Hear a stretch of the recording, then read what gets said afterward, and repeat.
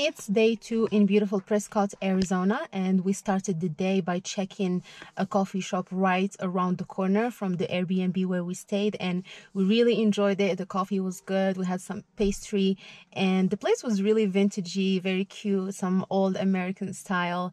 And right now we are back to a viewpoint here at the lake because yesterday when we were doing the loop, it was pretty dark when we got to to this point, and we were not able to see much of the lake from this specific viewpoint. So we're back here today to check it out and just enjoy the view from up here.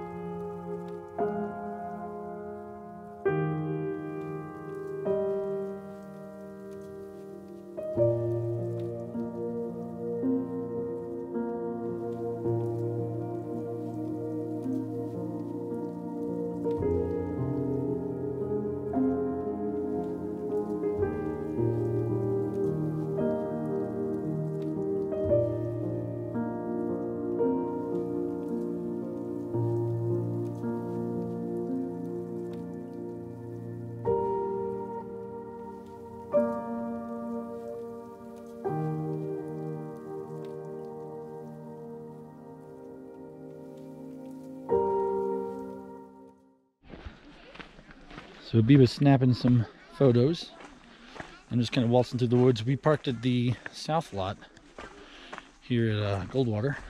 It's a nice lake. Still pretty busy though, but it is it is Memorial Day, so I mean, I don't think this is an accurate measure of, of what's going on, but that doesn't mean it's busy or not. Pretty lake, a lot of greenery though, a little, a little bit different than Watson Lake, which is a lot of rock. This is a lot of forest.